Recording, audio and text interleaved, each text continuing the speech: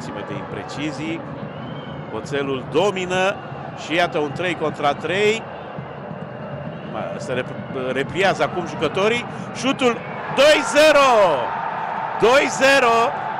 Înscrie Cisoti. Da, Cisoti. Da, capitanul Cisoti face 2-0. Zis și făcut. Promisiune onorată până acum. Pentru că Oțelul este o echipă cu antrenor.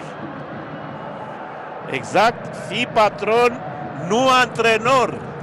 E, dar în fond lasă Fi să patron, facă... nu antrenor. Lasă să fie ce vrea el. Emil Oțelu joacă fotbal. Recuperare, spuneam, o echipă care atunci când are ocazia contraatacă, merge, o face tăios, o face precis. Trei jucători de la FCSB se retrag după Cisoti, dar o fac nefericit, nepotrivit. Masiel pasă decisivă pentru Cisoti. Oțelul manevrează dezinvolt, cu un minut mai devreme a avut șansa golului, a avut șansa golului Masiel, acum scrie Cisoti și Dorinel Munteanu dă o lecție de fotbal până acum unei echipe lipsite de uh, competență pe banca tehnică.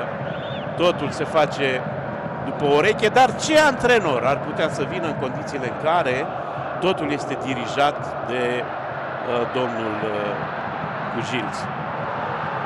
Uh,